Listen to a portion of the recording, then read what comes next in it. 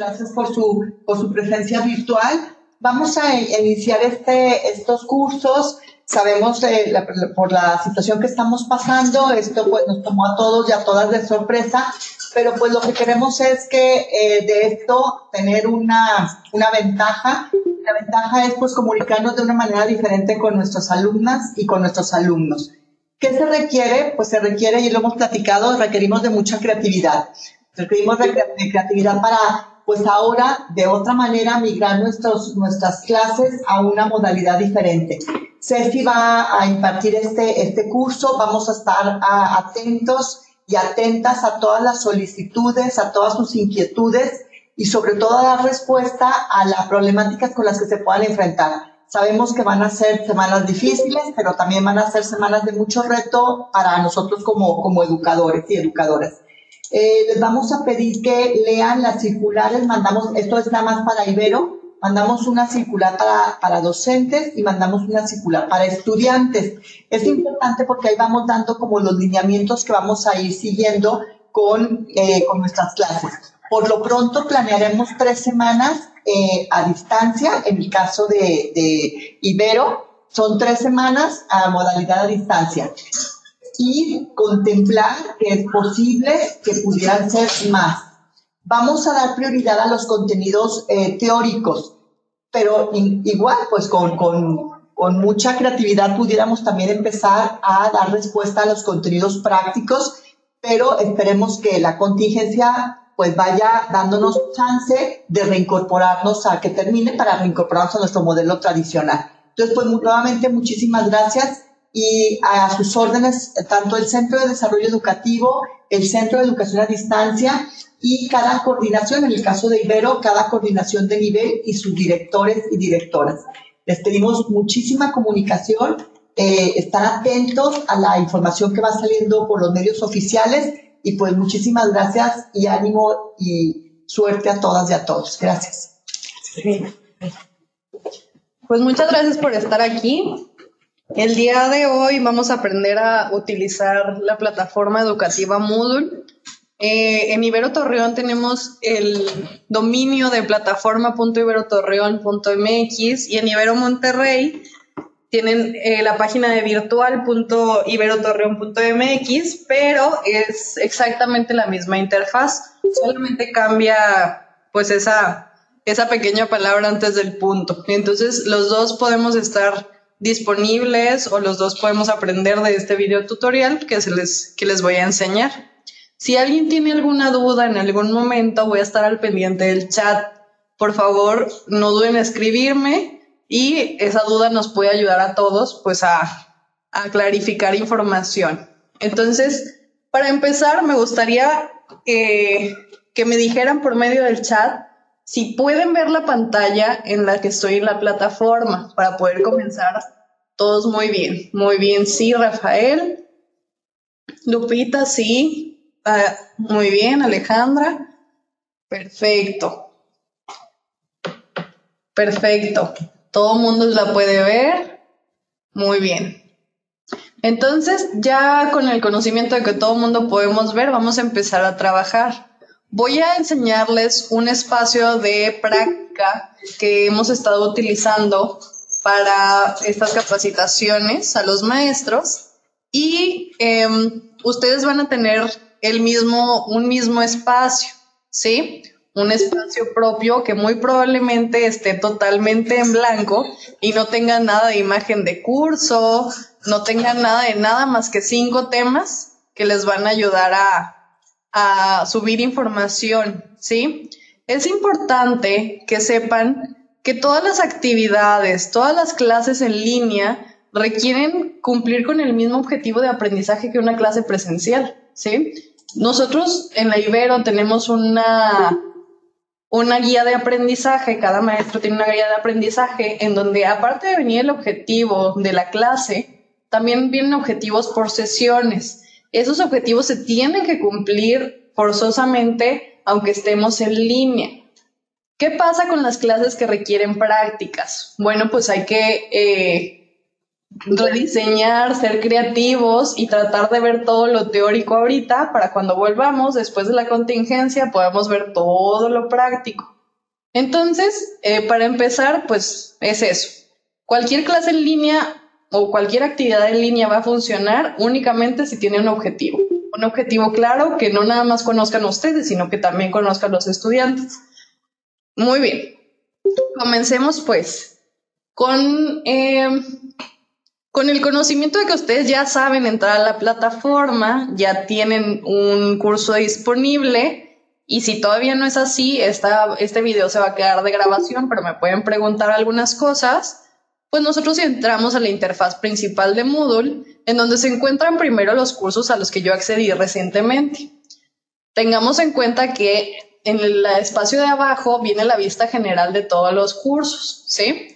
Entonces, eh, no todos los que están aquí arriba son todos los que tengo inscritos. En este caso, yo voy a utilizar este espacio de práctica de capacitación.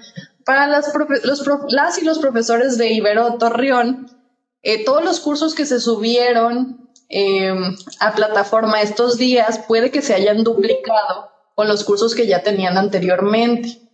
¿Qué pasa con eso? Que ustedes, bueno, hay personas que aún no saben cómo entrar, pero pueden ir revisando si les queda duda de algo y eh, después nos mandan un correo para darles acceso a su, a su sitio. Aquí arriba, si ven, están los, los contactos, el correo de contacto y el teléfono de contacto. Entonces nos pueden llamar en cualquier momento y los ayudaremos con mucho gusto. Em, como les iba diciendo, cuando tenemos espacio en plataforma eh, de Ibero Torreón, puede que se haya duplicado nuestro curso. Tenemos que tomar en cuenta cuál curso sí tiene a todos mis alumnos inscritos en el semestre y cuál curso sí necesito utilizar este semestre, ¿sí? Todos los cursos están ocultos. Entonces, lo primero que vamos a hacer al ingresar a nuestro curso es irnos al bloque de administración, al espacio de editar ajustes. Aquí lo pueden ver todos. El nombre completo del curso es el nombre de mi materia. En este caso se llama práctica de capacitación, pero se puede llamar corrientes pedagógicas, metodología de investigación, eh, me, me, están diciendo que algunos no escuchan y tampoco vean actividades. Eh, ah, ¿Hay alguien más que no escuche? ¿Hay alguien que no ponga en el chat más bien si no ve la pantalla o todos están escuchando?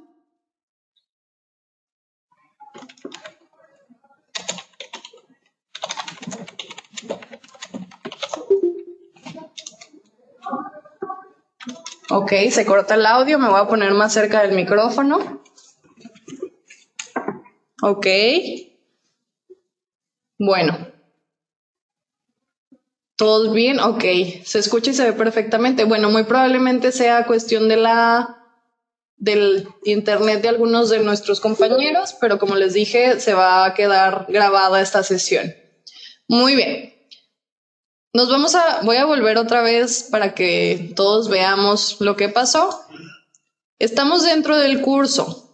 El primer botón que siempre vamos a tener que dar clic es en el bloque de administración en editar ajustes, ¿sí? En este botoncito que dice editar ajustes. Perfecto. Aquí viene el nombre del curso. Dice nombre completo del curso. Yo ahorita puse borrar porque para los eh, asistentes de Torreón que tienen un curso duplicado, les pedimos que borren su o que pongan ahí cuál curso van a borrar y cuál no. ¿Sí? En esta ocasión yo lo voy a dejar con el nombre de la clase. El nombre corto del curso ya está listo y la cuarta opción es la importante. Aquí dice la visibilidad del curso. Vamos a mostrar o ocultar el curso, ¿sí? Si este curso es el que yo voy a utilizar porque ahí están todos mis estudiantes, le tengo que seleccionar la opción mostrar. Si este curso no lo voy a utilizar para nada, no lo quiero para nada, lo voy a dejar en ocultar o si está en mostrar, lo pongo en ocultar también, ¿sí?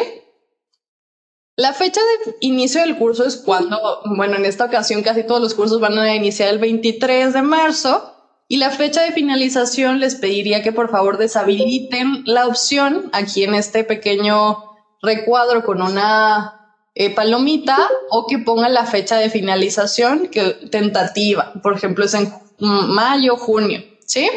En esta ocasión yo lo voy a deshabilitar. Aquí, en este espacio donde hay una flecha azul, es donde vamos a configurar nuestra imagen de curso. ¿Cómo se hace eso? Yo puedo buscar de, Google o de alguna otra página una imagen que me sirva a mí para que los alumnos la vean en cuanto inicien sesión en mi materia. ¿Qué voy a hacer? Voy a abrir una nueva pestaña, ¿sí? Y en esta ocasión yo les recomiendo utilizar la página de Pixabay, así se llama. Pixabay.com. Pixabay.com es una página que me permite encontrar imágenes sin derechos de autor, ¿sí? Y son imágenes de muy buena resolución que me pueden pues ayudar mucho y no tengo que estar en Google buscando muchísimas. Entonces yo aquí le voy a poner educación porque en esta ocasión pues eso es eh, de lo que se trata mi clase. Busco alguna que me guste, supongamos que esta me gusta a mí, la abro y hay una descarga gratuita. Voy a descarga gratuita, descargar, me pide que diga que no soy un robot y simplemente la descargo. Aquí la puedo ver en mis descargas y cuando estoy en la configuración del curso, simplemente arrastro la imagen que descargué a este espacio, ¿sí?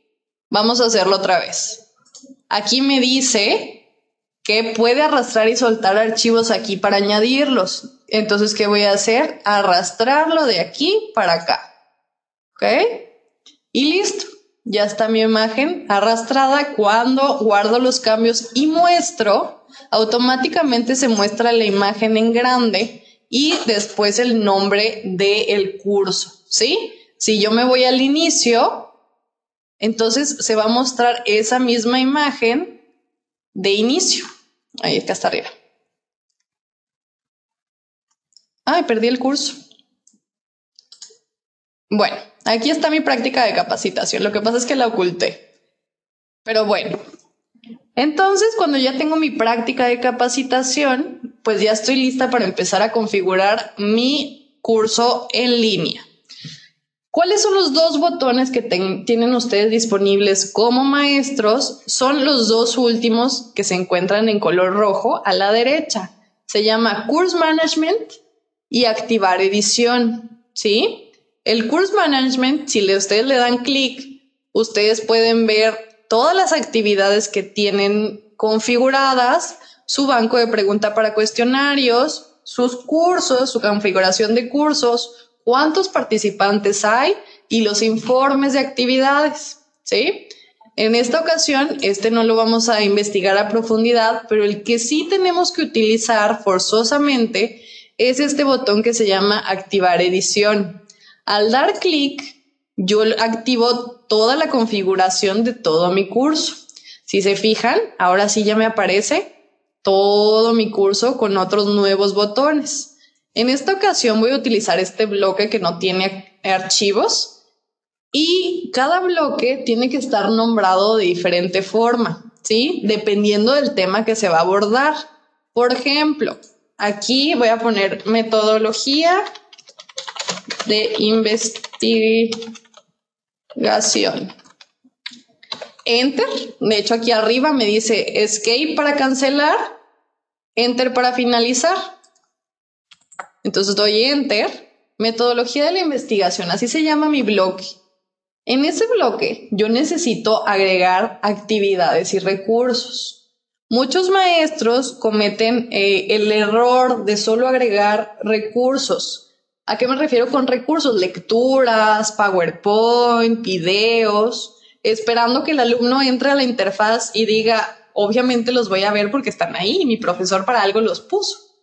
Lamentablemente nuestros alumnos, pues muchas veces este, evitan en lo posible ver tantas cosas, leer tantas cosas, entonces hay que ligar los recursos a una serie de actividades. Entonces en esta ocasión vamos a agregar esas esas dos ítems, esas dos categorías. Si nosotros agregamos recursos y actividades, puede que el alumno se confunda y no sepa cuál es cuál. Entonces necesitamos crear una distinción. Para eso existe un recurso que se llama etiqueta. Para añadir actividades o recursos necesitamos el botón verde que dice añade una actividad o un recurso. Si ustedes dan clic aquí, van a poder ver el listado de todas las actividades y de todos los recursos disponibles en plataforma. Si se fijan, son muchísimos. Ustedes, no les voy a ir explicando uno por uno, pero si tienen duda de para qué funciona cierta actividad o cierto recurso, pueden dar clic y del lado derecho les va a explicar a profundidad de qué se trata. ¿Sí? En esta ocasión, como les dije, vamos a añadir, un recurso etiqueta. Aquí está y está también la explicación de lo que se trata una etiqueta. Nosotros vamos a dar clic en agregar.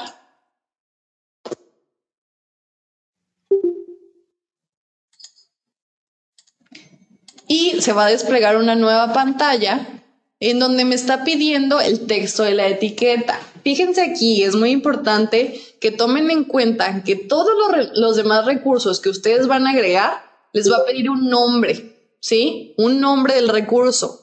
Sin embargo, en la etiqueta no nos solicita un nombre. ¿Por qué? Porque el alumno no va a tener que dar clic en la etiqueta. La etiqueta está ahí, está ahí estática.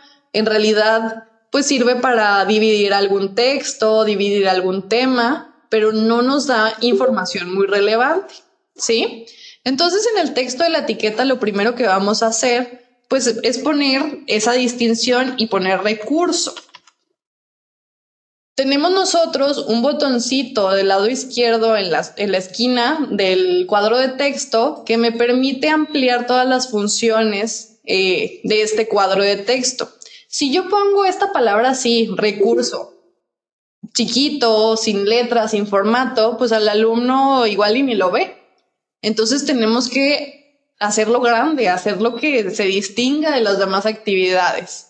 Entonces yo lo, ustedes lo que van a hacer es seleccionarlo y por ejemplo vamos a aumentar el tamaño, ¿sí? Ya no lo quiero en 18, yo lo quiero en 24, que esté grande. Lo voy a poner en negritas, ¿sí? Y también pues lo voy a subrayar en amarillo, por ejemplo. Entonces, ¿qué pasaría? Pues se crea una etiqueta que dice recurso y obviamente va a ser una distinción para los alumnos. Cuando yo termino, guardo los cambios y regreso al curso y voy a ver que en mi bloque de metodología de la investigación ya está esta nueva etiqueta que se llama recurso, ¿sí? También necesito una nueva etiqueta para actividades. En vez de hacer el proceso nuevamente, lo que voy a hacer es utilizar el botón que está al lado derecho de recurso y le voy a dar clic y la cuarta opción dice duplicar, ¿sí? Entonces, si yo lo duplico, entonces ya tengo dos etiquetas que dicen lo mismo, pero yo necesito que una diga actividades. ¿Qué voy a hacer? Bueno, en una de ellas me voy nuevamente a ese botón de edición y digo editar ajustes, ¿sí? Esto me permite a mí modificar la etiqueta. Entonces, selecciono la etiqueta y le voy a poner ahora actividades. Y entonces tiene el mismo formato de letra, tamaño, subrayado y yo ya no tuve que configurar nada más que escribir la palabra. Guardo cambios y regreso al curso y ya tengo mis dos etiquetas. Entonces, ya ahora sí puedo ir integrando recursos y actividades y los alumnos sí van a saber cuál es cuál. Perfecto. Vamos a pasarnos al área de recursos, ¿sí? Lo primero que vamos a hacer, normalmente los maestros cuando tomamos una clase en línea, eh, damos a los alumnos lecturas, PDFs, eh, presentaciones de PowerPoint, tal vez algún video, ¿sí? Entonces, los recursos que vamos a ver hoy es una URL para agregar videos, páginas de internet o lo que sea que está en la web y que tiene una URL. Y después vamos a ver cómo subir archivos, ¿sí? Muy bien. Ya les había dicho que el botón que necesitamos para añadir actividades o recursos es de color verde y se encuentra aquí. Muy Vamos a dar clic y nos vamos al área de recursos, que si se fijan, aquí está actividades y hasta abajo está el área de recursos. Lo primero que vamos a integrar es una URL, ¿sí? La URL son toda la dirección de la página. Por ejemplo, esta es plataforma.iberotorreón. Y pues depende de la página, tiene su, su dominio. Vamos a agregarlo. Y si se fijan, aquí sí me pide un nombre. ¿Por qué me pide un nombre? Porque el alumno sí le va a tener que dar clic ahí. Lo que vamos a hacer es agregar una URL de un video de YouTube. Yo voy a abrir YouTube y voy a poner el primer video que me encuentre. ¿Sí? ¿Qué es el apego inseguro? Ok. Le voy a, puedo copiar la URL o la página de aquí arriba o puedo irme al final del video y darle clic al botón compartir. Cuando yo doy clic en compartir, aquí me da la URL como reducida, me da menos letras, menos eh, símbolos. Yo le puedo dar copiar. Me voy a mi plataforma, pego la URL en el segundo espacio y en el primero tengo que nombrarlo. Ya sea que yo ponga el título del video que viene en YouTube, así, o puede que yo les ponga video de la clase 1. ¿Sí?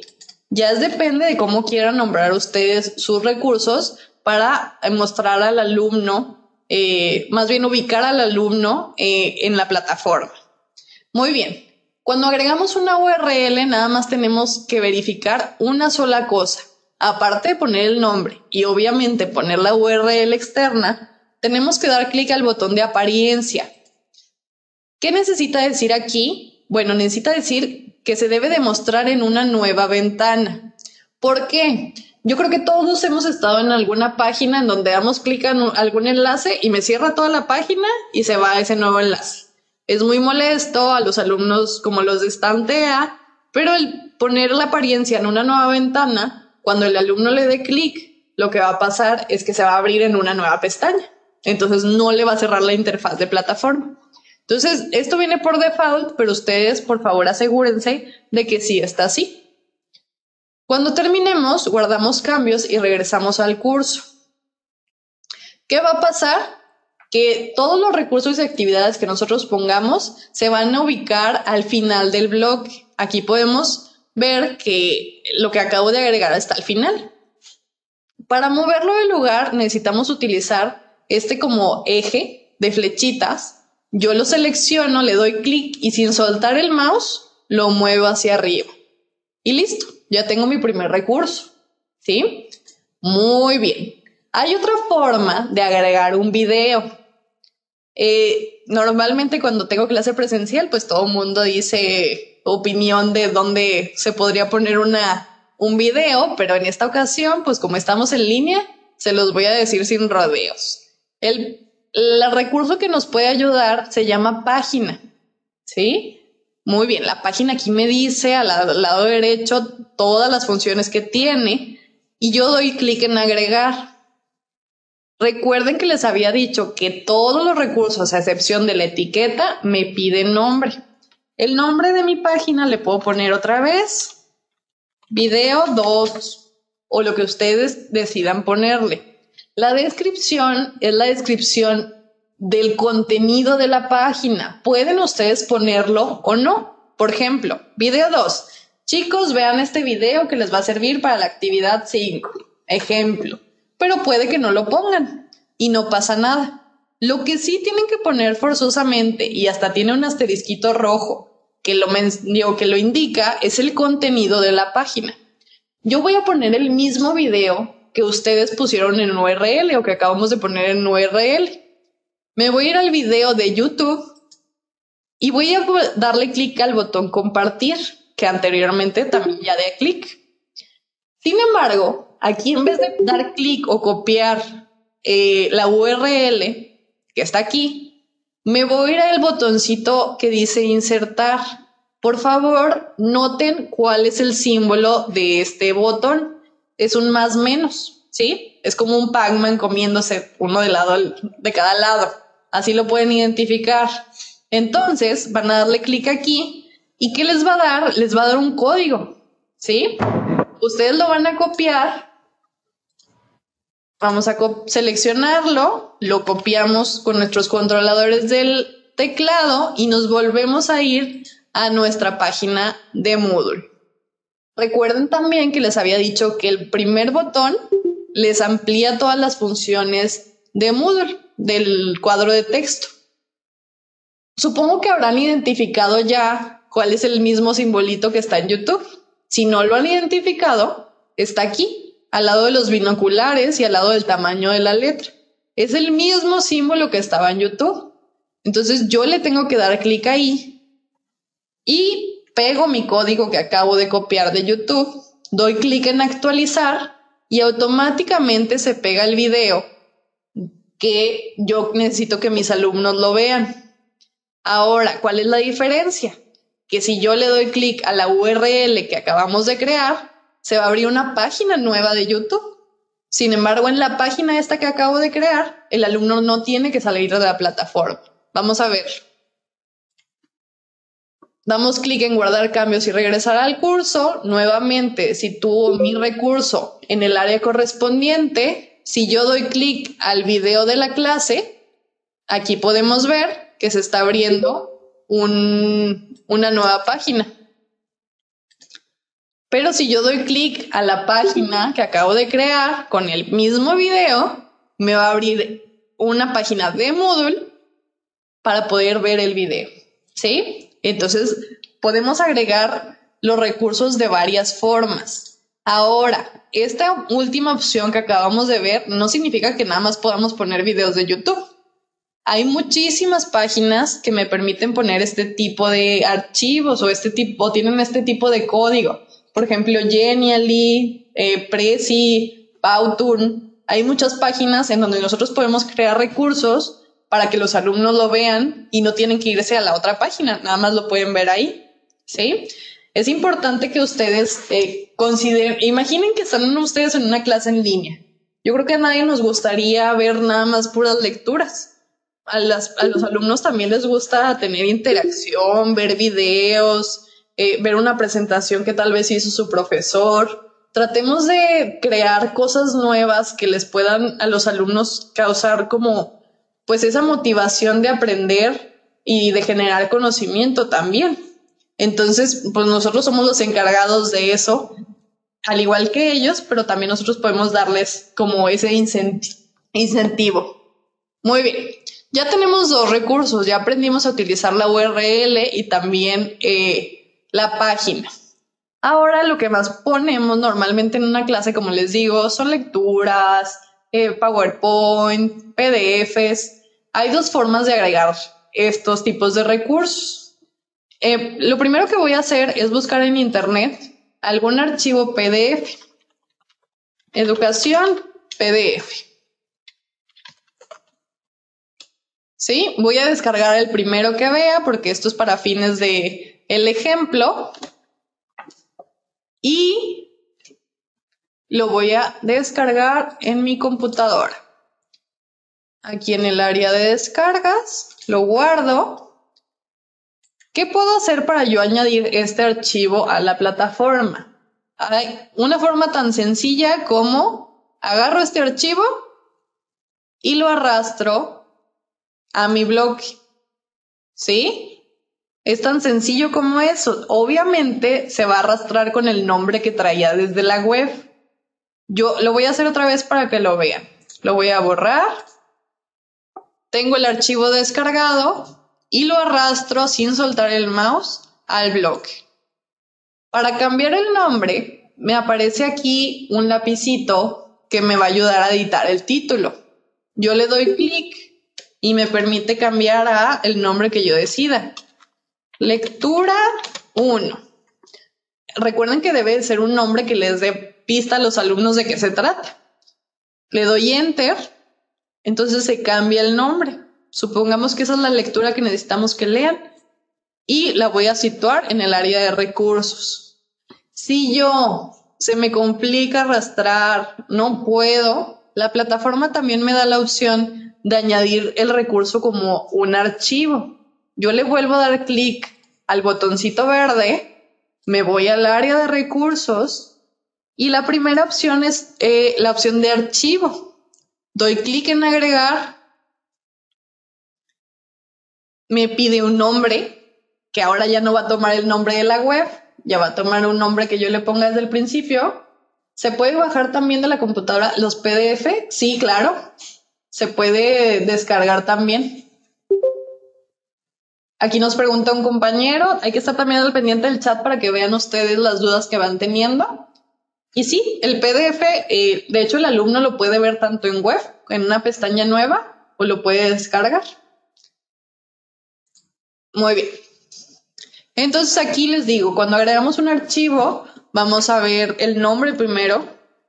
Yo le voy a poner educación 2. Puedo o no poner la descripción. Recuerden el archivo, digo, el recurso página en donde decidíamos cada quien si ponerlo o no. Y aquí o se puede arrastrar nuevamente, si se fijan, o lo que podemos utilizar es este botoncito que me dice añadir fichero.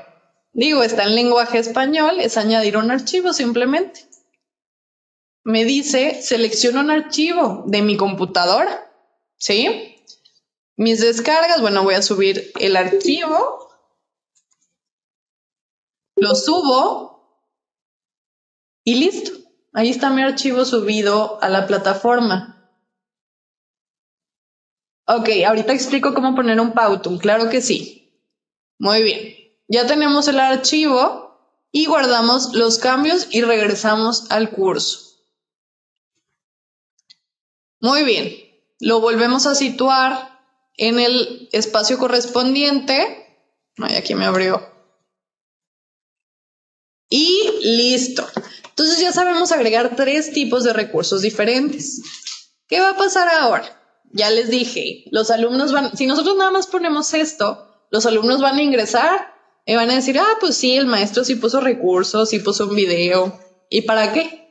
¿Con cuál es el objetivo? Eso es lo que tenemos que ligar. Las actividades tienen que estar ligadas con los recursos. En esta ocasión nada más vamos a ver dos tipos de actividades, la actividad de tarea y la actividad de foro. También hay cuestionarios, hay juegos, hay trabajo en equipo, hay muchas cosas muy padres de la plataforma que si les las explico todos, aquí nos podemos quedar todo el día y para cuestiones de la contingencia, únicamente vamos a explicar esto. Para las personas de Ibero Torreón y de hecho para todos les vamos a mandar un manual donde describa detalladamente cómo hacer para agregar actividades y también cuestionarios, ¿sí? Entonces, si en algún momento ustedes quieren algún cuestionario, pueden recurrir a ese manual para hacerlo. En este momento no vamos a explicar. Muy bien. Se utiliza el mismo botón verde para añadir una actividad o recurso. Vamos a dar clic y podemos ver que la primera sección es de actividades. Vamos a buscar primero las tareas, ¿sí? Es casi la penúltima opción. En algunas computadoras, de acuerdo al lenguaje de cada equipo, viene a veces como actividad y no como tarea. Muy bien, seleccionamos la tarea, damos clic en agregar y se va a abrir una nueva ventana en donde me va a pedir la configuración de toda la tarea. También me pide un nombre, ¿sí? Puede ser tarea tarea 1 de este pasos de la investigación. Hay maestros que van nombrando sus tareas. Por ejemplo, 1 punto. Eh, entrega de archivo mm, Word, ¿sí? Dependiendo de ustedes, de su estilo, es que pueden nombrar las actividades, pero siempre que le dé pista al alumno. Muy bien, aunque en la tarea no es necesaria, si se fijan no viene un asterisquito la descripción, es casi obligatoria ponerla. ¿Por qué? Porque en la descripción yo tengo que poner el objetivo y las instrucciones de la actividad, ¿sí? el objetivo, que le diga al alumno para qué está haciendo esto, por qué, cuál es la función, cuál es el objetivo específico dentro de todo el objetivo de la clase, ¿sí? Entonces, necesitamos siempre poner un objetivo, lo voy a poner en grande para que lo vean, y unas instrucciones. Las instrucciones tienen que tener coherencia y estar acomodadas de forma lógica. ¿Qué quiere decir esto? Que si yo necesito que los alumnos hagan un ensayo, no le puedo poner instrucciones, haz un ensayo. Necesito ponerle punto número uno. Lee o ve el video o investiga en fuentes confiables de Internet o lee el archivo PDF. Ok, ese es el punto número uno. Punto número dos, a partir de la lectura, a partir del análisis del video, realizan un, ensayo en Word. Punto número tres, sube tu archivo. ¿Sí? Sabemos que igual es muy obvio para nosotros, pero para los alumnos tal vez no. Y recordemos que no vamos a estar con ellos. Es muy fácil decirle en el salón, chicos, este, a partir de lo que vimos hagan un ensayo. Pues sí, todo el mundo va a entender el contexto, pero en este momento necesitamos ser muchísimo más específicos de lo que siempre hemos sido. ¿Sí? Muy bien. Fíjense bien, Voy a abrir este curso en una nueva pestaña. Esta imagen de inicio es un enlace directo a la imagen, digo, al curso principal. Voy a dar clic derecho y voy a poner abrir enlace en una nueva pestaña. Se abrió el curso con las actividades y con los recursos que ya habíamos hecho y así. ¿Ok? Aquí supongamos que como nosotros queremos ligar eh, los recursos con las actividades, pues los recursos que están aquí son los que necesitamos que lean o vean o analicen para realizar la actividad que estamos haciendo, ¿verdad? Entonces, supongamos que queremos que vea el video y también que lea el archivo. Entonces, ve o observa atentamente el video y nos vamos aquí al video, ¿sí? Y lo único que tenemos que hacer es, es copiar el nombre del video. Lo seleccioné, los, lo repito. Lo seleccioné para que se pusiera en azul. Ya está seleccionado el nombre. Doy control C. Me voy a la edición de la tarea y aquí es donde voy a pegar control B el video, ¿sí? ¿Qué va a pasar ahí? Si yo le digo, observa atentamente, y le puedo quitar hasta la palabra, el video de la clase 1, el alumno ya no va a tener que identificar dentro de toda la plataforma cuál es el video de la clase 1. La, el yo copiar el nombre le da al alumno automáticamente un enlace directo a ese recurso. ¿Sí? Observa atentamente el video de la clase 1 y lee Entonces, ¿qué quiero? Voy a copiar este nombre y lee el archivo educación. Al lado de cada enlace les va a aparecer este, una identificación de si este es URL, si este es archivo, cosa que no les va a aparecer a los alumnos, nada más es para ustedes, ¿sí? Entonces no se preocupen. Ustedes pueden copiar y pegar y se crea el enlace directo. Ok, observa atentamente y lee el video. Y el punto 2, a partir de a partir de eso, realiza un ensayo, una presentación, una infografía. Es ahí donde necesitamos también que ustedes se pongan creativos. Normalmente nosotros pedimos este, igual muchos entregables iguales. Por ejemplo, haz un ensayo, es lo que más se pide, o hace un resumen. Pero al alumno hay que traer, hay que ponerlo activo, ¿sí? Yo, por ejemplo, les encargo que hagan presentaciones en Powtoon, infografías, eh, podcasts, casos, ¿sí? Todo eso les ayuda al alumno también a ir desarrollando como ese pensamiento crítico y saber que no nada más voy a resumir o voy a poner lo que pienso, ¿sí? Es importante, obviamente, lo que piensas. ¿Cómo copiaste los nombres del recurso? Ok, vamos a ir, vamos a volver. Yo estoy en la plataforma, en mi página principal del curso, ¿sí? Aquí lo podemos ver, está activa la edición. Yo simplemente selecciono el texto, ¿sí? Eh, Enrique, nada más hay que seleccionar el texto y dar control C, que es copiar, irnos a la tarea y dar control B, control V, que es pegar. ¿Sí? Tan simple como eso. Muy bien, entonces como les decía, bueno, pues los entregables nos van a ayudar mucho a nosotros a, que los alumnos también pues desarrollen otro tipo de competencias. Muy bien, ya, que tenemos nuestras instrucciones, nuestro objetivo, vamos a ir a navegar hacia abajo. A ver, ¿o tenemos otra duda? Ok, me preguntan que una maestra ha pedido que los alumnos hagan videos de ellos mismos y para modificar el tamaño del, de un video, ya sea que entren a un convertor de convertidor de, de internet o simplemente lo pueden subir a Drive y compartirte el enlace o también puedes subirlo a YouTube y compartirte el enlace ¿sí? Por ejemplo, todo mundo, todos los que están aquí conectados, tenemos un correo electrónico institucional. No me queda claro si los de Pereira también tienen el correo de Gmail, pero cuando menos los del área de universidad tenemos un correo de Gmail. Si el alumno lo sube a Drive, te puede compartir un enlace. Entonces, tú puedes ver ese video. Perfecto. Entonces ahí también tienen Gmail en, en Pereira y los alumnos pueden compartir fácilmente eso y ya no pesa nada. ¿Sí? hay que ponernos también un poco creativos.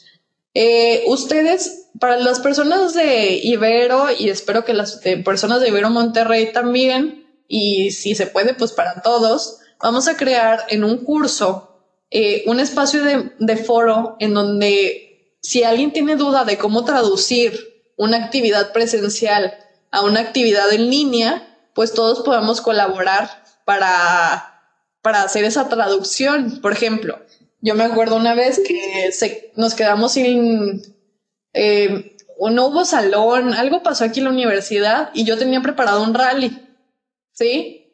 Y pues les tuve que crear una actividad de la nada de que fuera virtual. Entonces, todo eso, pues se gana con la experiencia, ¿verdad? Y entre todos podemos crear también la experiencia de crear esa actividad, pero en el área virtual cumpliendo con el mismo objetivo de aprendizaje, que ese es el objetivo final.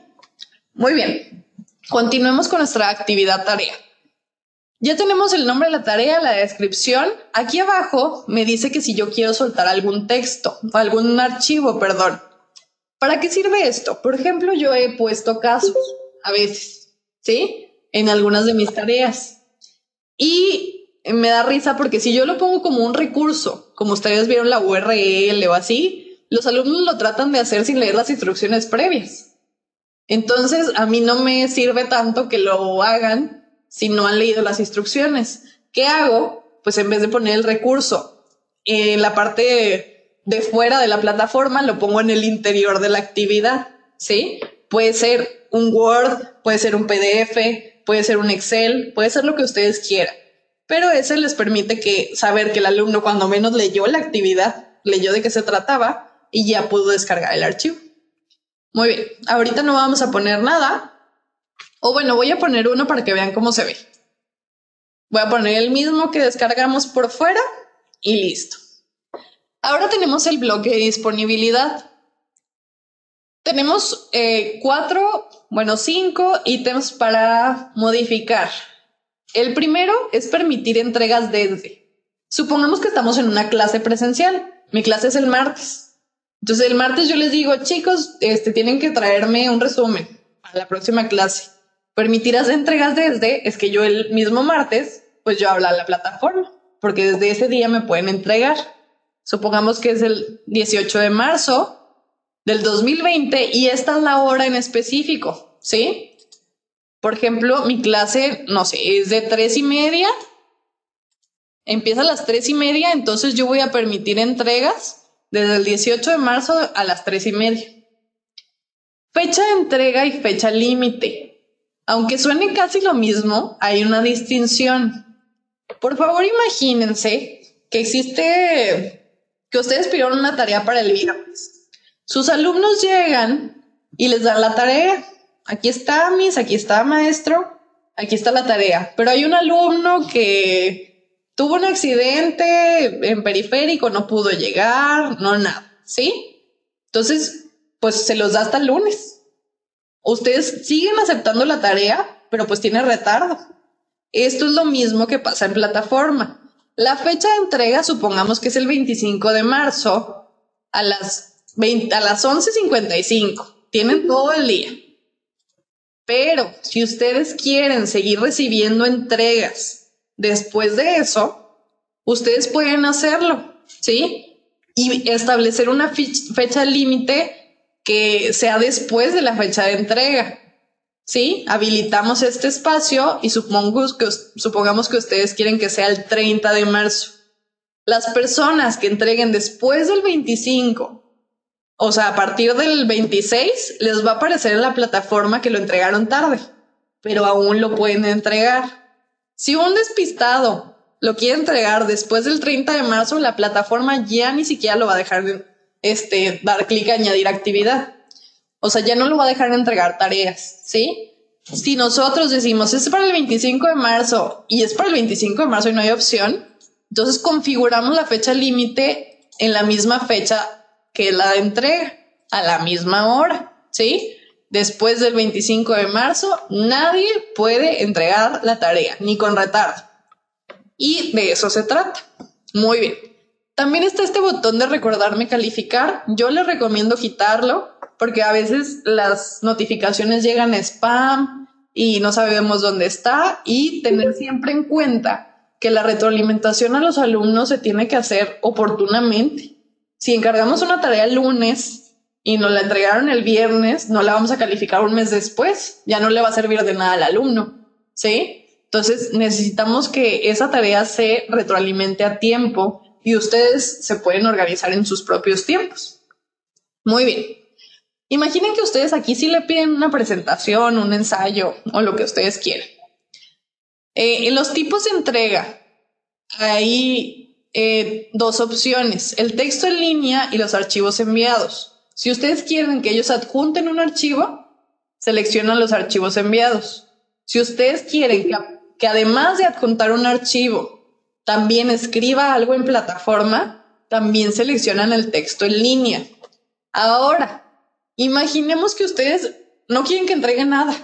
¿Por qué? Porque el objetivo de la clase es que después, eh, a partir de la lectura, la reflexión y el ensayo que hicieron, aunque no quieren que lo entregue, lo van a utilizar para una clase en línea, una clase síncrona, ¿sí? Para comentarlo.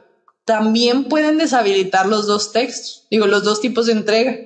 Y el alumno ya no tendría que entregar nada pero sí tendría que cumplir con el objetivo y con las instrucciones que ustedes ya establecieron. ¿Sí? Entonces la plataforma te da mucho, mucha libertad para jugar con ella. En esta ocasión yo le voy a poner que sí haya archivos enviados y como yo nada más le pedí una tarea, pues nada más les pongo que una. Luego, si le pongo el número máximo, hay alumnos que me que nos dicen, ay, mis, te entregué ahí la tarea de la semana pasada.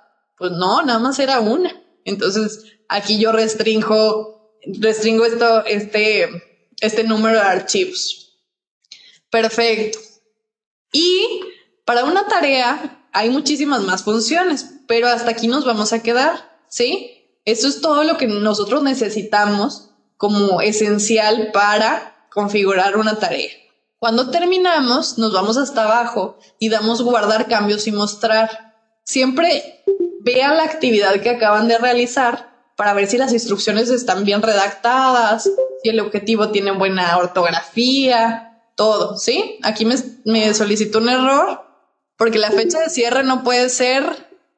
Ah, porque le puse una hora diferente, pero bueno. Listo. Ahora sí me dice, tarea 1, así la nombré yo, acuérdense, tarea 1 de pasos de investigación, objetivo, instrucciones, aquí están los enlaces, ¿sí? Que ya habíamos puesto, aquí está el archivo que le subí.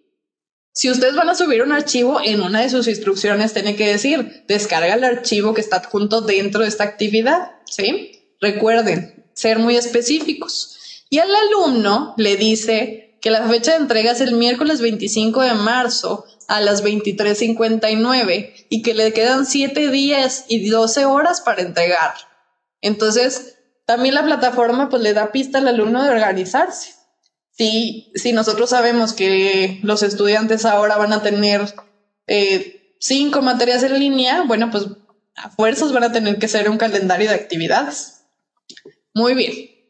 Ya sabemos agregar alguna tarea. Ahora vamos a agregar un foro. ¿Sí? Igual, damos clic al botón de añadir una actividad o recurso y nos vamos a foro. Vamos a buscarlo. Aquí está. Foro. En algunos, eh, depende de la configuración de cada computadora, dice foro de discusión o foro nada más. Vamos a dar clic en agregar. Y también me pide un nombre. Igual, que de pista. Foro. Foro 1 de discusión. ¿Sí? Descripción. Es lo mismo que tenemos que hacer con las actividades de tarea.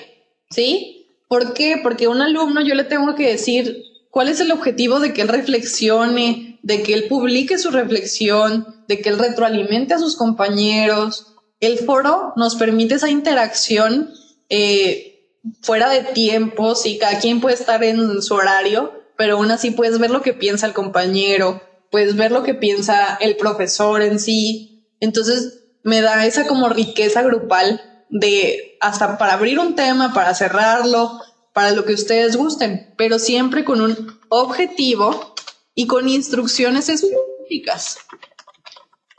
Recuerden que objetivo e instrucciones tiene que estar siempre presentes y las instrucciones se pueden aquí también ligar a los recursos. Por ejemplo, si tú quieres que el alumno eh, te ponga reflexión a, partir de preguntas detonadoras eh, y a partir de una lectura, pues le tienes que decir qué lectura va a realizar y qué preguntas eh, tú le estás haciendo para que él reflexione.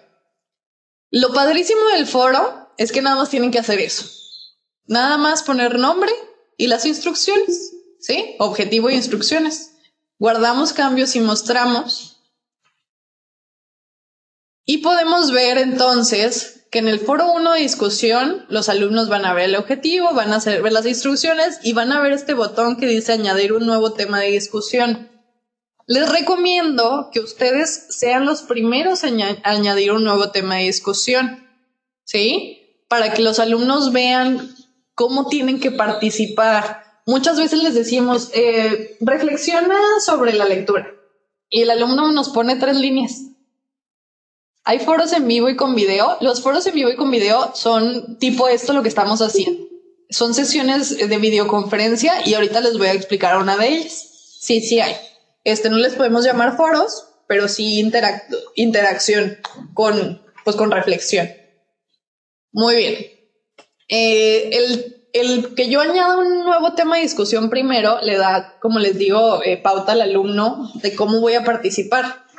Yo me acuerdo mucho que una vez en mi primera clase en línea les dije, reflexionen. Y me pusieron dos líneas. Y yo, ¿cómo? ¿Cuál es su reflexión? Mis, ¿no nos dijiste? Ah, ok.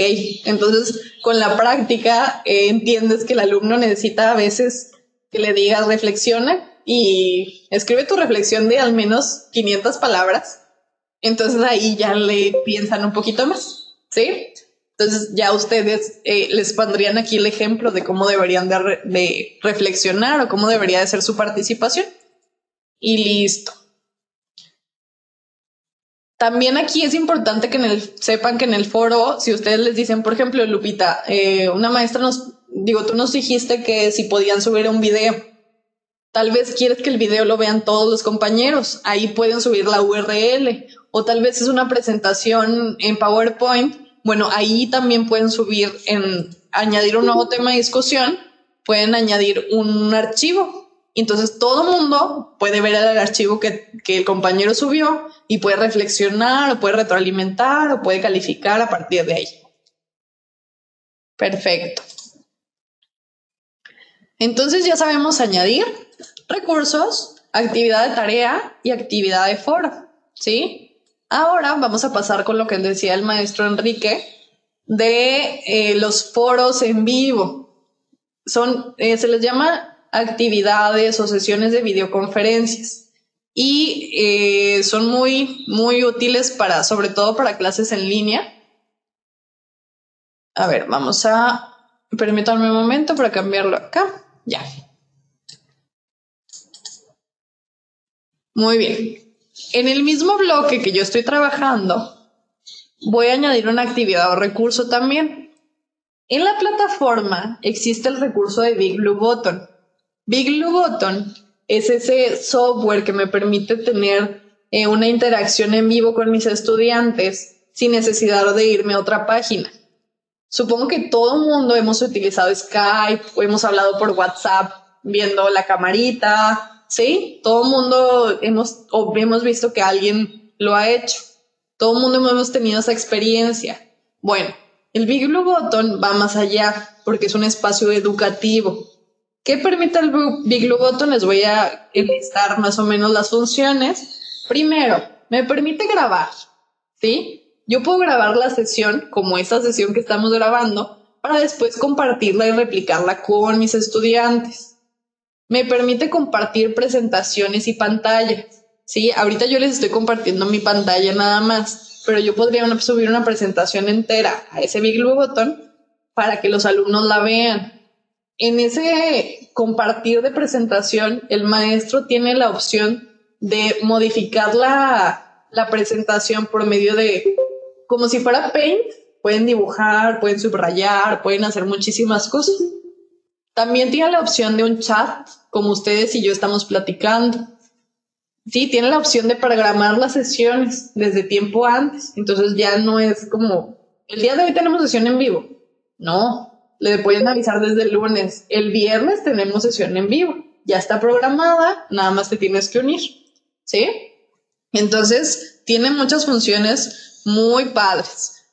Ahorita vamos a seleccionar Big Blue Button y eh, aquí viene la descripción, como ya saben, y vamos a darle clic al botón agregar.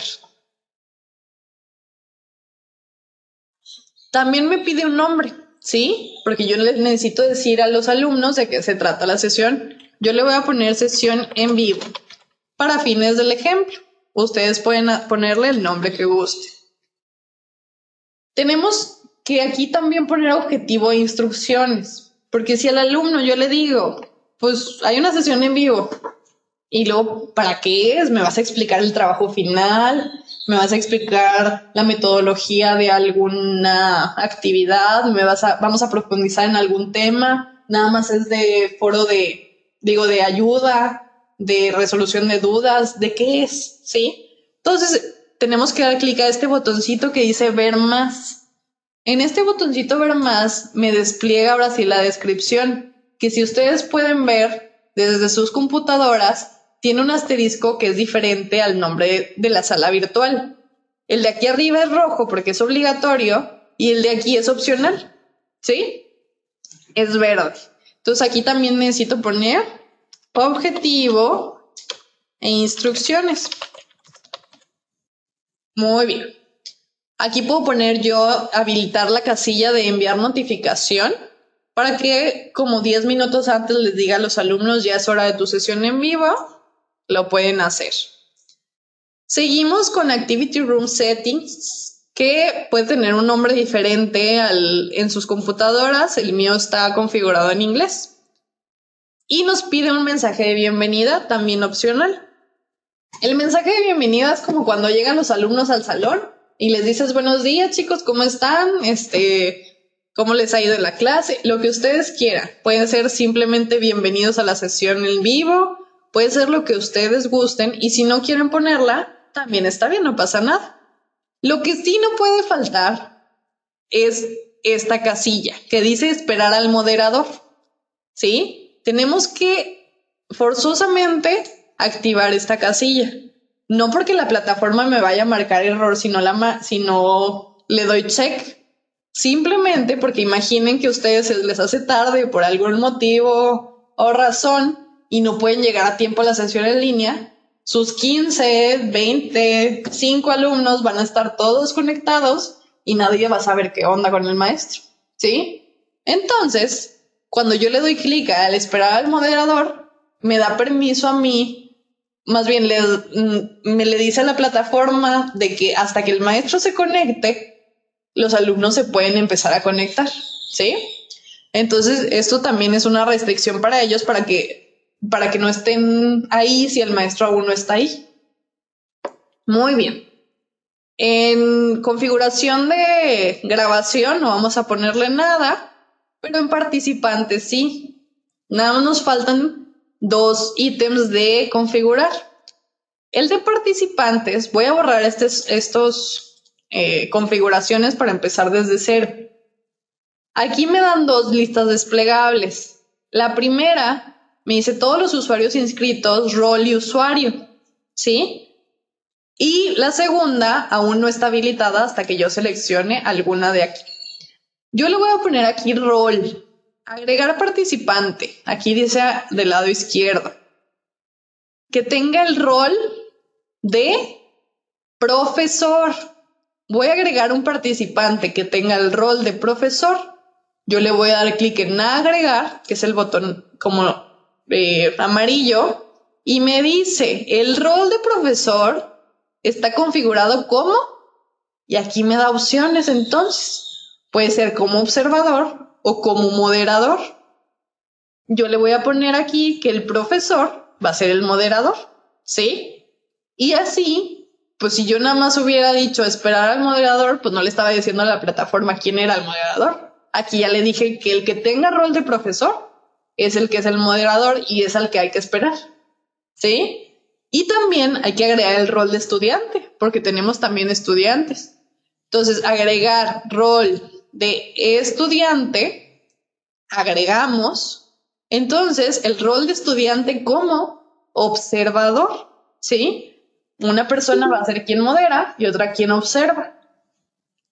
Eh, el observador es importante, bueno, es importante aclarar que ustedes como moderadores, cuando ingresen a la sesión en directo, que van a poder ver la interfaz en el manual que se les va a hacer llegar.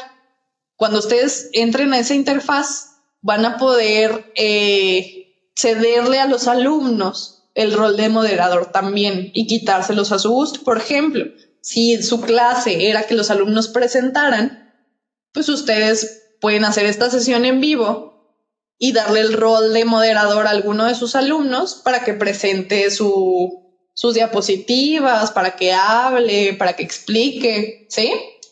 Y, y después se lo pueden quitar cuando termine su presentación. Recuerden que todas las sesiones que se hagan de manera síncrona, o sea, en vivo, tienen que ser en el horario de su clase, sin excepción, ¿sí? Para no empalmarnos con otras materias. Muy bien. Programación de sesiones. Ese Exactamente, Beto. Todo el mundo puede activar micrófono y cámara y es como un foro en vivo, exactamente. Muy bien, muchas gracias. En la programación de sesiones, que ya es lo último que vamos a configurar, pues precisamente vamos a configurar cuándo vamos a abrir este foro en vivo, como ustedes bien lo dicen, o esta sesión de videoconferencia. Si nosotros no lo habilitamos, si se fijan aquí yo no le puedo dar clic porque no le he puesto en el botón de habilitar, ¿sí? Si yo lo doy en habilitar, ya puedo modificar. Si lo quito, no me deja. Si yo no lo habilito, en cualquier momento los alumnos pueden ingresar a, la... y usted, ustedes pueden ingresar a la sala en vivo. El habilitarlo me da espacio para saber cuándo o para programarlo.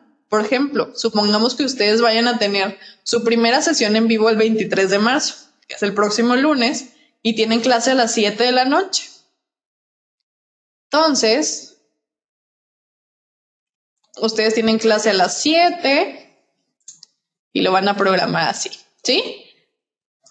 ¿Qué te dice abajo? El acceso, el acceso abierto es cuando se abre. El acceso cerrado no significa que si ustedes le ponen el 23 de marzo a las 7.10, vaya a durar nada más 10 minutos su clase significa que cualquier persona que llegue después de las 7.10 no se va a poder conectar. ¿Sí? Pueden configurarlo o no. Depende de ustedes. tal vez a ustedes no les molesta, no pasa nada si los alumnos llegan media hora después, este, 15 minutos después, entonces lo pueden dejar sin habilitar y no se configura. Si su clase es a las 7, yo les recomiendo que siempre programen la actividad unos 10 minutos antes, ¿sí? Por ejemplo, pues a las 18.50, cuando menos. ¿Para qué? Para que ustedes puedan ingresar a la plataforma, subir sus eh, presentaciones al espacio virtual, irse acomodando, ver si su micrófono funciona, ver si su cámara funciona. Entonces les da a ustedes como ese lapso de tiempo para, para asegurarse de que todo esté bien. Una vez que ya tengo mi configuración y mi programación de sesiones, ya terminé, guardo cambios y muestro. Y entonces Aquí me dice, la sesión en vivo, porque así le puse yo, tiene tal objetivo, tienes tal instrucciones y esta conferencia no ha comenzado todavía. El acceso se abrirá el lunes 23 de marzo del 2020 a las 6.50. Esto también lo ven sus alumnos, ¿sí? Ustedes, como les dije, pueden grabar la sesión. Una vez que ya hayan tenido su sesión, la hayan grabado, tienen que ingresar un, otra vez a la sesión y aquí les dice grabaciones. Y ya les va a mostrar su archivo de grabación que pueden descargar en formato MP4. Todo esto va a venir en el manual. Muy bien. Entonces, ahora ya también saben agregar una actividad de Big Blue Button. ¿Qué sigue, maestros?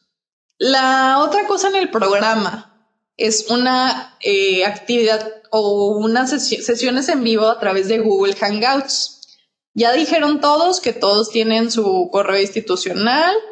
Este, entonces, les pido que si están siguiendo la práctica junto conmigo, todos entren a su cuenta de Google.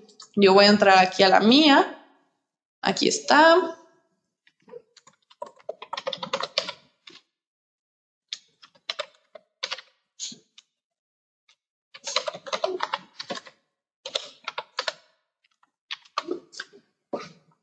Muy bien. Una vez que ingresen a su cuenta de Google, van a ver su foto de usuario. Yo tengo la, la Ibero. Y también van a ver esta serie. Yo le digo puntitos, pero aquí dice aplicaciones de Google, en donde pueden dar clic y van a encontrar este recurso que se llama Hangouts. ¿Sí? Si yo le doy clic a Hangouts, me va a decir que yo puedo hacer una nueva conferencia puedo compartir el enlace con, con, mis alumnos o compañeros para todos conectarnos al mismo tiempo.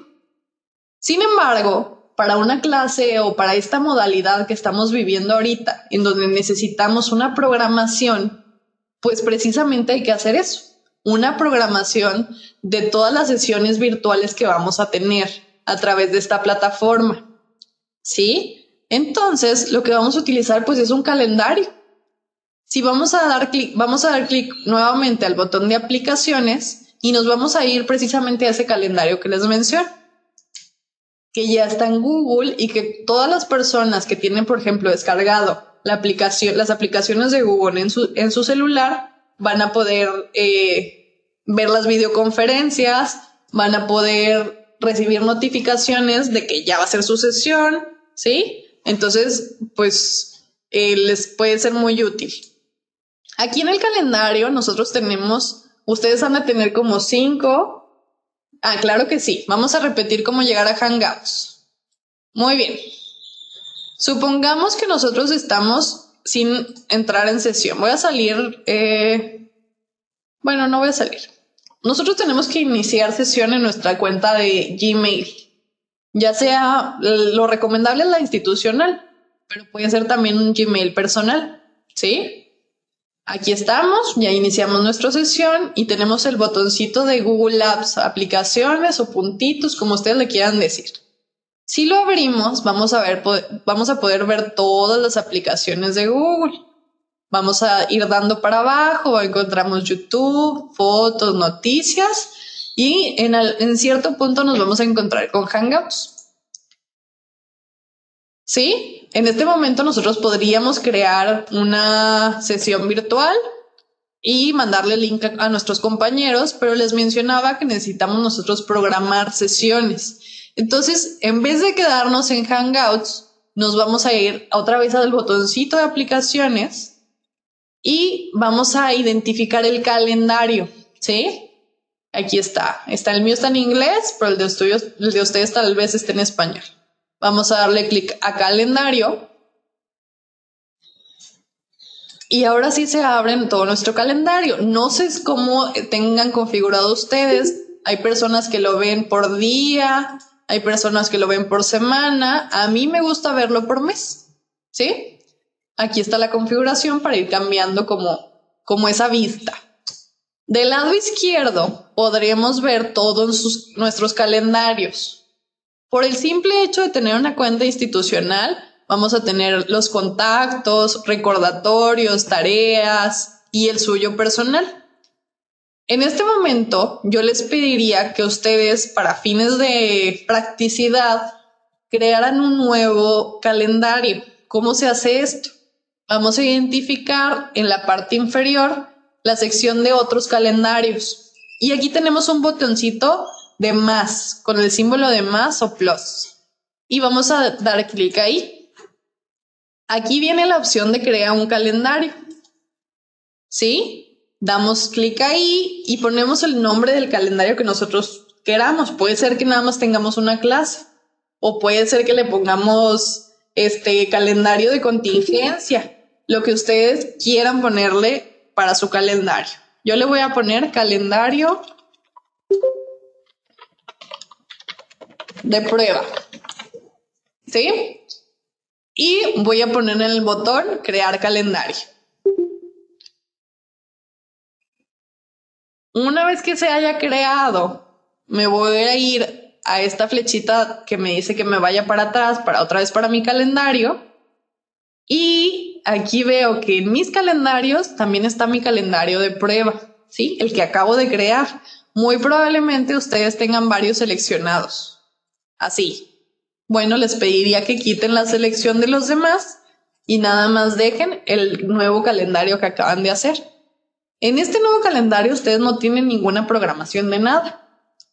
Entonces, supongamos que, ¿se acuerdan que el Big Blue Button lo configuramos para el lunes 23? Vamos a tratar de configurar la misma sesión, pero ahora a través de Hangouts para el lunes 23. ¿Qué vamos a hacer? Simplemente en el 23 vamos a dar clic, un clic, y me va a decir que agregué una actividad, ¿sí? Entonces yo le voy a poner sesión 1, sesión 1 de clase. ¿Sí? Pueden poner ahí el nombre de su clase, lo que quieran. ¿Qué me dice? Ah, es un evento. Aquí está el simbolito de un reloj y me dice, ¿qué días son? Ah, bueno, pues nada más es el 23 de marzo, pero a una hora específica. Y aquí viene el botón de añadir una hora. ¿A qué hora es? Pues mi clase es de 3.30 pm a las 5.30 pm. ¿Sí? y listo. Entonces mi clase es del 23 de marzo de 3.30 a 5.30. ¿Ok? Y en la tercera opción me dice añadir ubicación o conferencias. Voy a dar clic ahí y me va a decir, yo no quiero una ubicación porque pues no, nos estamos viendo. Yo quiero una conferencia. Voy a dar clic en añadir conferencia y automáticamente, maestros, me da un enlace un enlace en el que yo me puedo unir a Hangouts Meet. ¿Sí? Este enlace pues está configurado tal vez desde una semana antes. Y si lo configuro en un mes, pues desde un mes antes. Entonces yo les puedo hacer llegar a los alumnos ese enlace desde mucho tiempo antes para que no haya confusiones. ¿Sí? Yo le voy a dar clic en guardar y si le vuelvo a, dar clic en la actividad, me dice aquí unirse por Hangouts Meet y aquí está el enlace que yo necesito para conectarme. De hecho, del lado derecho me aparecen como un iconito con dos páginas donde me dice copiar el enlace de la conferencia en portapapeles. Le voy a dar clic ahí y este enlace yo lo puedo conectar con la plataforma. Supongamos que nosotros no queremos el Big Blue Button. A mí me gustó. Los, sí, los invitados sí tienen que tener correo de Google. No tiene que ser institucional, pero sí de Google. Este, supongamos que a mí me gusta más Hangouts. Entonces, pues me voy a ir a la plataforma. ¿Y qué voy a hacer? Digo, yo sé que ya se les estará ocurriendo eh, qué recurso pueden poner, pero por si no, pues yo puedo poner una URL, ¿verdad? Me voy a URL, la agrego, copio y pego, la, pego más bien la URL que ya había copiado y le pongo nom sesión de clase. ¿Sí? Y le puedo poner ahí la fecha, 23 de marzo. Y listo. Es más, le puedo poner una pequeña descripción de conéctate el 23 de marzo a las 3.30. Muy bien, entonces guardamos y regresamos al curso. Y aquí me dice sesión de clase 23 de marzo. Si el alumno le da clic, se puede unir. Yo, tomen en cuenta que yo ingresé ya mi correo de Moodle, digo de Google, por eso puedo unirme ahora. Si yo no tuviera la sesión iniciada, miren, me voy a entrar como una página de incógnito para que vean. Ahí no tengo ninguna sesión iniciada. Voy a permitir. ¿Sí? Tengo que acceder. Aquí en el botón me pide acceder. Entonces, sí vamos a tener que tener cuentas de Google. Muy bien. Supongamos que yo ya ingresé, ¿cómo lo verían los alumnos? Bueno, pues aquí podríamos ver los detalles de la sesión. ¿Sí? Aquí se supone que se vería mi cámara, pero mi cámara está ocupada ahorita con ustedes, se escucharía el micrófono y yo podría presentar, aquí abajo viene una ventana de mi navegador. Yo podría presentar cualquier ventana que yo quisiera, ¿sí? Y podría ir explicando. Lo que pasa con esto es que no se va a quedar grabado. ¿Se acuerdan que con el Big Blue Button sí puedo grabar? Bueno, pues aquí no se puede grabar. Entonces, este es el único como inconveniente que le, que le encuentro, pero perfectamente podrían utilizarlo. Es depende de ustedes. Muy bien.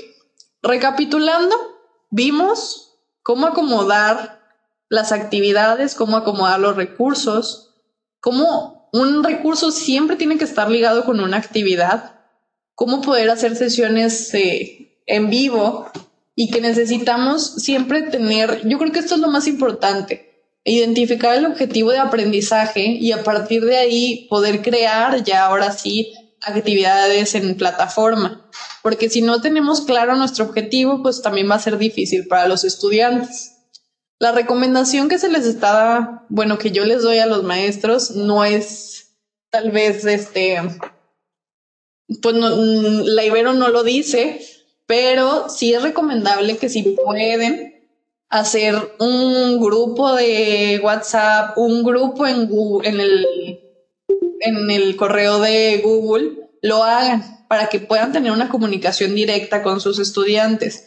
¿De qué se trata una clase en línea? De la comunicación. Eso es lo principal, ¿sí? Que el alumno no se quede con dudas, que el maestro esté al pendiente del alumno. En las clases en línea aquí en la Ibero tratamos de que, por ejemplo, hasta hay horas que les establecemos a los tutores. Si el alumno publica una duda, no puedes contestarle en más de 24 horas, o sea, tiene que ser dentro de ese rango de un día para que el alumno sienta que el maestro está con él.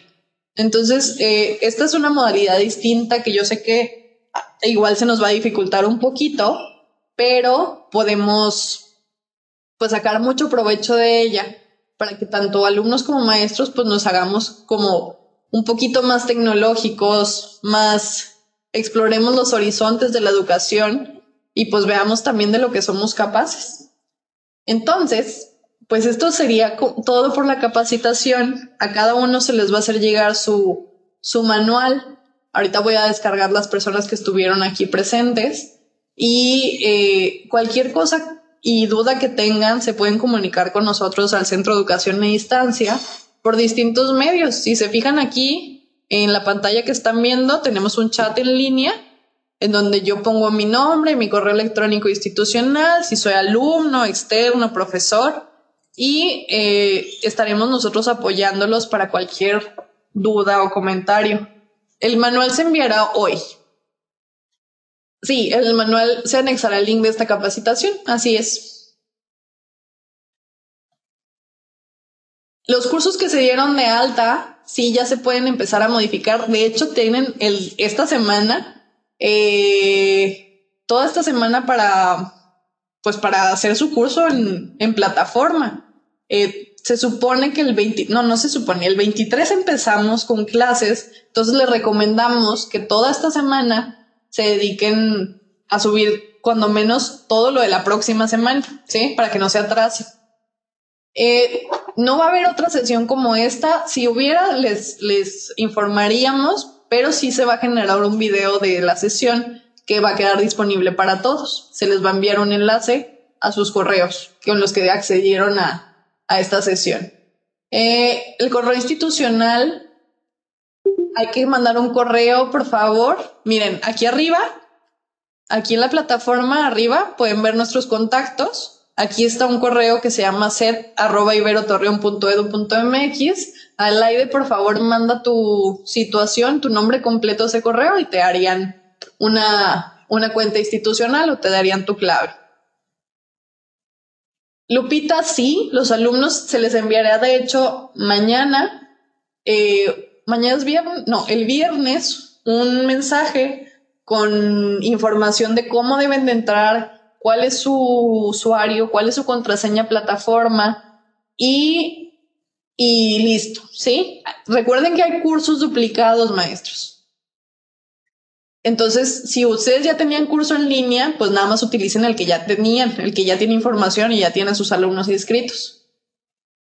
Las consultas serán únicamente en línea. Eh, estamos tratando de que no haya contingencia aquí en Ibero, pero si alguien necesita atención puede ser el viernes, siempre y cuando se, se conecten desde, Digo, manden un correo previo. Los alumnos que no han activado, sí pueden hacerlo a través de vía telefónica. Les recomiendo que el día de hoy y el día de mañana traten de enviar correo y por el chat de ayuda. ¿Por qué? Eh, porque no podemos, ahorita no hay personas disponibles para contestar teléfonos. Este, estamos como todos aquí en capacitación pero por correo o por chat de ayuda se contestaría rápido. Lupita, claro que sí. Este, te enviamos tu, tu, el manual a tu correo, a tu correo personal. Ya lo estoy copiando. ¿Cuánto tiempo considero que es bueno? Es depende de cada persona, de la habilidad de cada persona, pero si ustedes ya tienen, lo, padre de ustedes como docentes es que ya tienen sus correos digo, sus recursos, perdón, que iban a utilizar para clase presencial. Ya tienen su presentación, ya tienen todo. Entonces, si ustedes ya tienen su presentación, pueden subirla simplemente a plataforma y, y crear una actividad en base a eso. Sí, claro que sí, Adriana. De todos modos, María, eh, si tienes alguna duda de cómo subir información, también te puedes comunicar a, a, los, a los espacios que les mencioné. Y María, María Aguirre aparece. Pero pueden enviar ustedes eso. Ah, también les pido por favor que es muy importante Miren, aquí donde viene el contacto del correo y el teléfono, viene un iconito que dice YouTube. ¿Sí? En YouTube hay videotutoriales que les van a ayudar. Si no son, si no saben todavía nada de la plataforma, este, cuando menos como unas indicaciones generales de, de cómo se utiliza. ¿Sí? Eh, Antonio, claro que sí. Sí, te lo enviaremos. Las indicaciones, Antonio, eh, se las van a enviar desde las coordinaciones de Monterrey. Ah, ok, Gregorio. Bueno, Gregorio, sí, de todos modos, eh, te... Si quieres, déjame aquí tu correo para enviarte aquí, por, digo, enviarte tu manual, porque no va a aparecer la clave, tu correo. ¿Alguien más tiene alguna duda, maestros? De nada.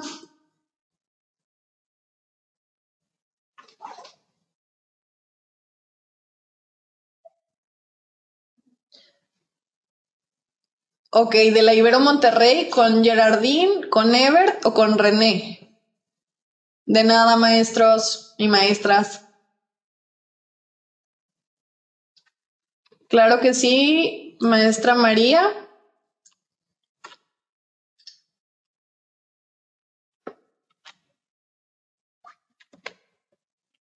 Saludos, maestros.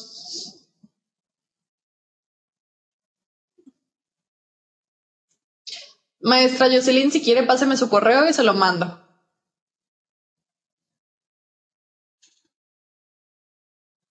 Luis, saludos. Maestro Carlos, doctor. Claro que sí, si me ponen sus correos los podré ayudar. Nada más pónganmelo en este chat, ya los estoy guardando. Muy bien, Alaide, ya tengo tu correo.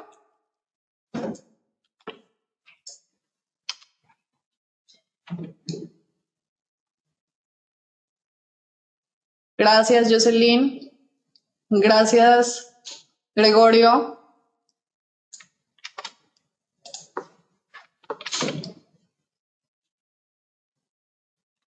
Claro que sí, Jaime.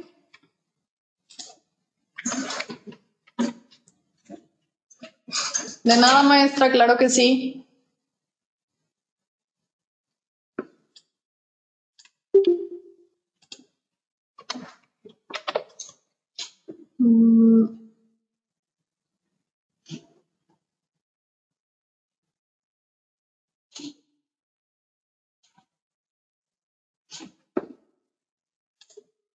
Doctor, el correo institucional ya lo puede digo, ya lo puede pedir por medio de todos los eh, medios que les mencioné.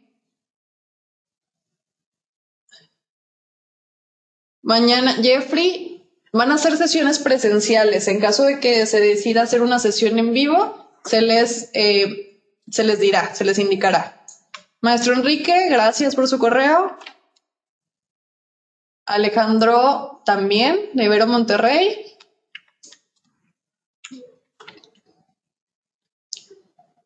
Maestra Olga, Juan Manuel, sí, a todos los de Torreón y Monterrey se les hará llegar por medio de coordinaciones.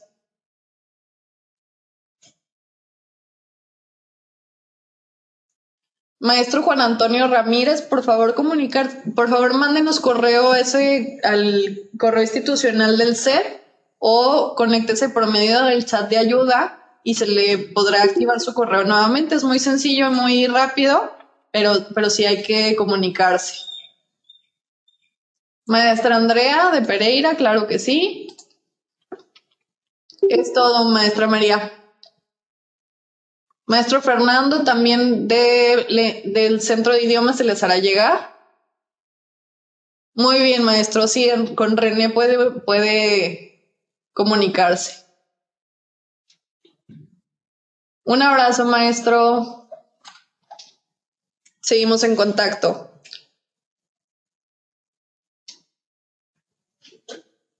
Hasta luego. Se va a terminar ya la sesión. Un gusto estar con ustedes.